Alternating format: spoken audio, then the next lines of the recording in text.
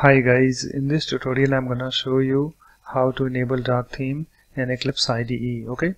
So just open your Eclipse IDE you can see that I have this you know Eclipse IDE opened okay? And you can see that currently I have this you know light theme enabled.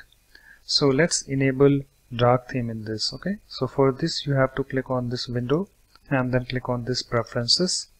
And you can see that I have this preferences window opened okay? And here we have the general so you need to expand this general by clicking over here okay? You can see it's now expanded. So let me move this slider over here. And here we have this appearance. Click on this appearance to select it. And here we have the theme.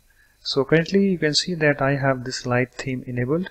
So let's enable dark theme. For this you have to click over here this drop down okay? And here we have various options like classic dark dark linux and other options we have okay?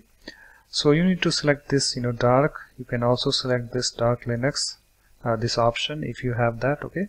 But I'm selecting this dark okay? So let me click on it to select it okay? And after that click on this apply button. And you can see that it's now enabled. And here we have the message. A theme change a restart is required for the theme change to take full effect okay so just click on this ok button. Click on this apply and close button okay?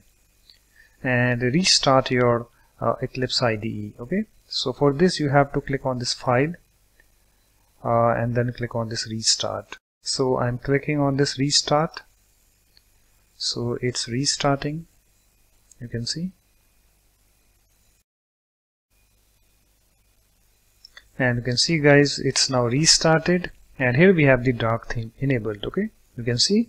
Uh, it's really looking very nice to me okay? So guys that's it.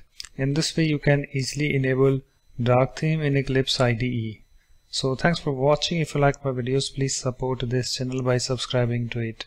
Thanks. Bye bye